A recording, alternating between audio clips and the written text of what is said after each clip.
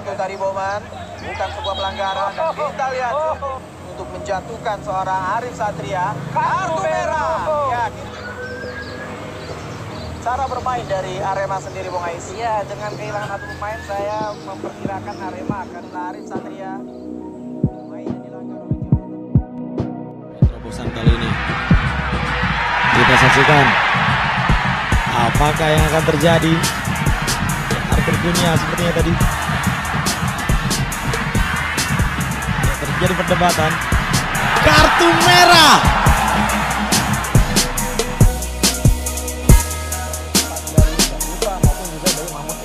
muncul dari lini kedua. Oh, David Da Silva mencoba memberikan gangguan. Ya, Hampir saja tadi dan kita lihat tuh kartu dikeluarkan. Oh, kartu merah. Oh. Kartu merah yang dikeluarkan oleh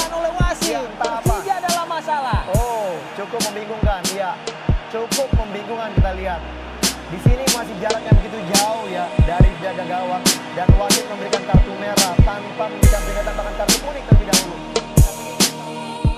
Ruben terhadap Coach Yaya Sunaria.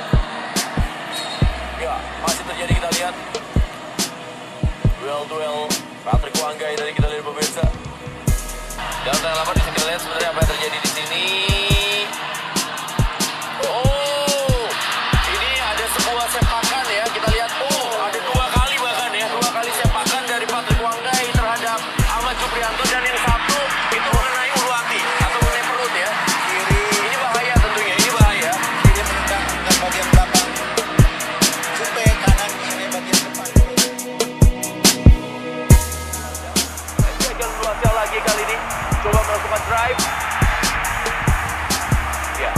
tampaknya dianggap melakukan pelanggaran terhadap Oh, Nobri Setiawan melakukan tindakan tidak terpuji.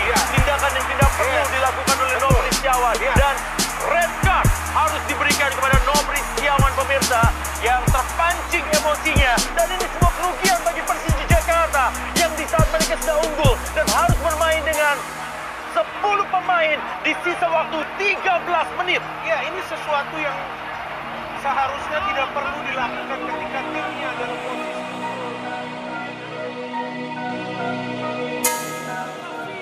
Shuto mengoyak jalan gawang Jandia Eka Putra menembuskan skor menjadi 3-1 untuk keunggulan PSIS Semarang Weru.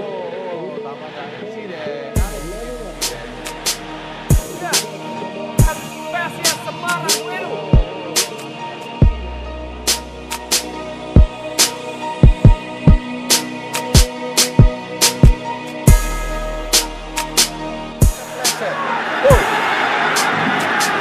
Kita belum mengetahui apa yang terjadi ini sebelumnya.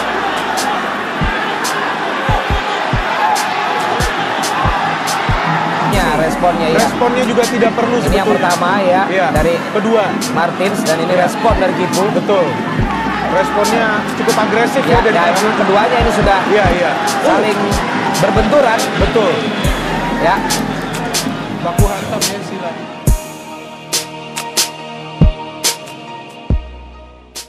Terima kasih udah nonton video Football Madness. Jangan lupa like, comment, and subscribe. Dan jangan lupa share ke teman-temanmu.